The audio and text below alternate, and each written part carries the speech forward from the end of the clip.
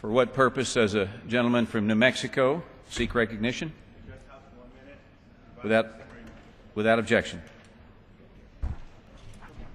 Mr. Speaker, at a time when our communities are dealing with the impact of climate change, cuts from the sequester will negatively impact our long-term efforts to combat this challenge.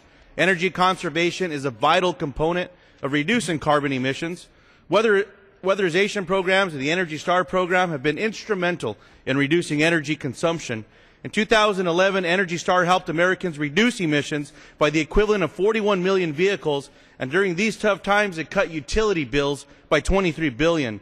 As a result of the sequester, further progress on these programs is at risk. Research and development in clean energy technologies are essential to reducing our dependence on oil and cutting emissions. Sequestration's funding reductions threaten to slow developments in solar and advanced battery technology. Sadly, my Republican colleagues have been reluctant to even debate further action to address climate change. That is one more reason why we cannot afford to sit by and do nothing while sequestration reduces the effectiveness of the programs we already have in place that are part of the climate change solution.